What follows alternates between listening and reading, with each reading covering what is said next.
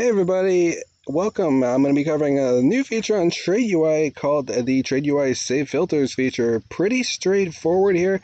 You can click in here and you can set a filter and save it, and you can load it right up. You can apply it with the apply button. You can clear the filters.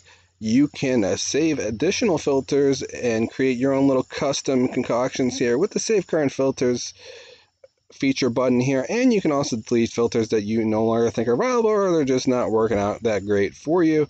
Pretty straightforward to do. Check out the trade ui platform if you're not a part of it yet. It is an option sweeps research and trading a research platform that you can learn a lot about different sweeps a lot about historical data and a plethora of other things there so check it out in the link below. And for those just looking for the general fact that's about it for the new feature. Have a nice day guys